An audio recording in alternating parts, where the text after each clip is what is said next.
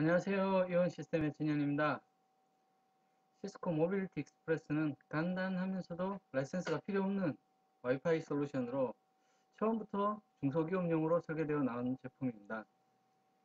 Mobility Express를 사용하면 단 몇 분 만에 쉽고 빠르게 와이파이 환경을 구축할 수 있습니다. Mobility Express는 먼저 탑재되어 있는 enterprise 기능 및 보안을 통해 추가적인 비용이나 복잡성 없이 소규모 구축에 알맞게 나온 제품입니다. access point 자체에 컨트롤러 기능이 내장되어 있어서 AP가 뭐 와이파이 클라이언트들에게 서비스를 제공하는 한편 다른 AP까지 제어하는 두 가지 기능을 통합적으로 제공합니다. 또한 웨이브2까지 지원하기에 향상된 무선 환경을 경험하실 수 있습니다. 이게 시스코 Mobility Express 박스입니다. 내용물을 살펴보면 음,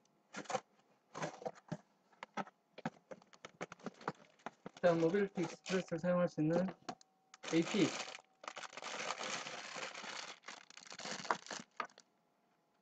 AP가 있고 기존 AP에서도 볼 수 있는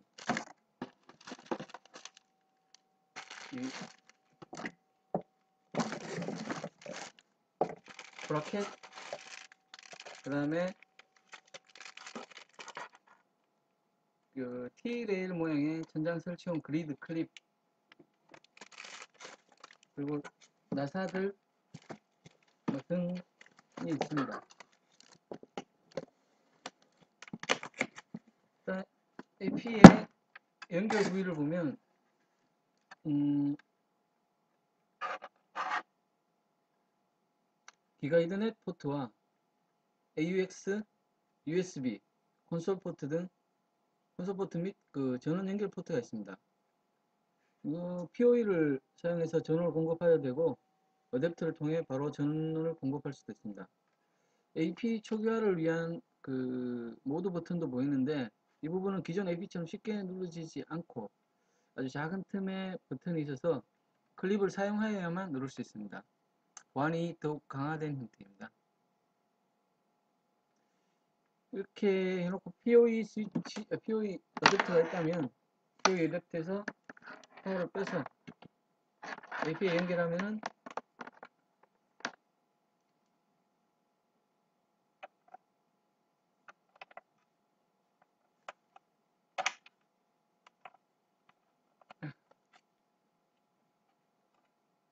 전원이 들어오게 되고 이제 AP를 세팅할 수 있는 준비는 완료된 상태입니다. AP에 전원이 들어오면 콘솔 포트 연결 필요 없이 Mobile Express 세팅이 가능합니다. 개인적으로는 콘솔 없이 세팅 가능하다는 게 가장 큰 메리트가 아닐까 싶네요. AP가 켜지면 와이파이 중에 Cisco Air Provision이라는 SSID가 보입니다. 이 SSID에 접속이 되면 자동으로 IP를 받아오고 웹을 실행시켜 AP에 접속한 후 어, IP, subnet, 뭐 gateway, SSID 등 기본 세팅만으로 설정이 끝나게 됩니다. Mobile Express 구축은 매우 간단합니다. 그럼 Mobile Express 세팅을 하는 화면으로 넘어가 보도록 하겠습니다. 먼저 AP에 전원이 들어가게 되면 Cisco Air Provision이라는 SSID가 보입니다. 노트북이나 스마트폰, 웹패드 등 무선을 사용하는 장비라면 와이파이 접속 후 AP 세팅을 할 수 있습니다. 저는 노트북으로 자, 작업하도록 하겠습니다. 웹브라우저를 실행시킨 후 웹브라우저 주소창에 192.168.1.1번을 치고 엔터를 누르시면 Mobile Mobility Express 세팅 화면이 나옵니다. 먼저 관리자 계정을 등록하는 화면입니다. 관리자 계정을 등록하도록 하겠습니다.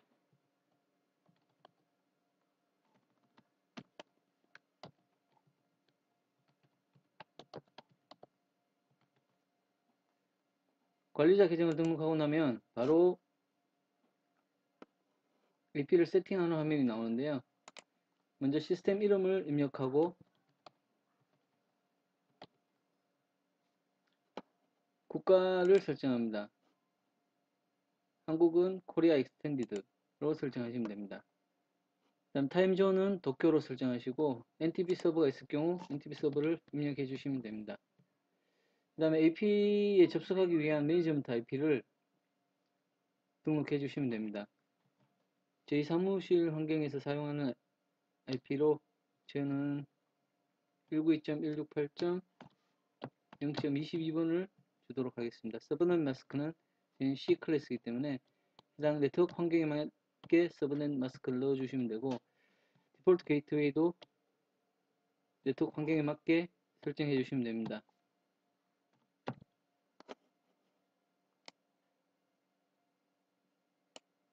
그 다음 무선 사용하게 될 SSID를 등록해 주시고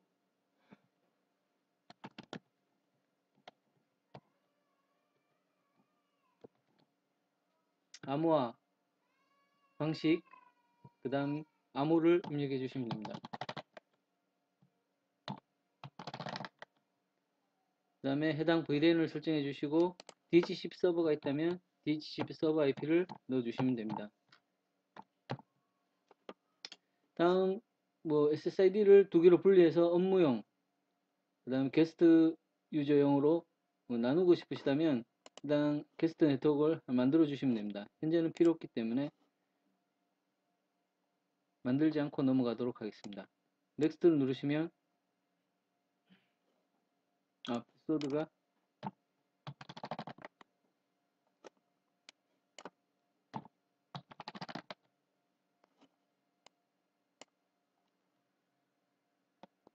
등록하고 넘어가면은 이제 advanced setting에서 RF parameter를 어, 최적화할 수 있습니다.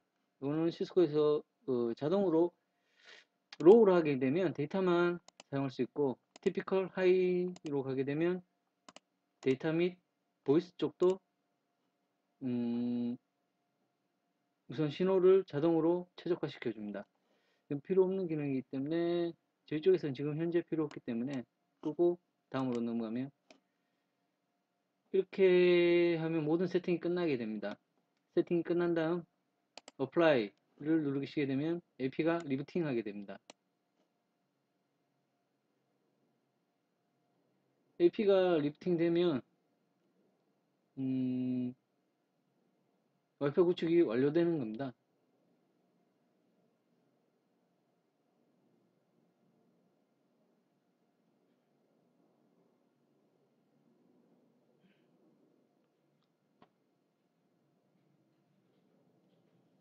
현재 컨트롤러가 세팅이 됐고 restart 중이다 라는 메시지가 나옵니다. 잠시 끊었다가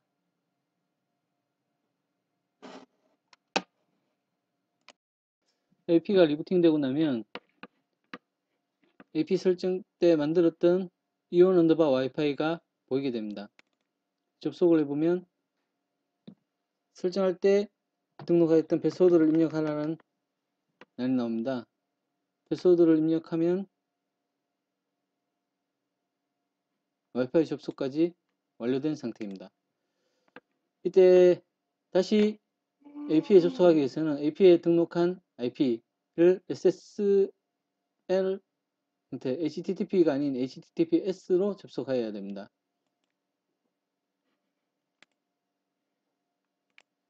접속하시고 관리자 계정을 등록하였던 관리자 계정을 입력하면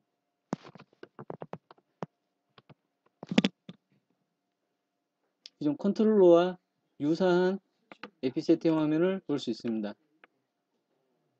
이상으로 시스코 이 설정 가이드를 마치도록 하겠습니다.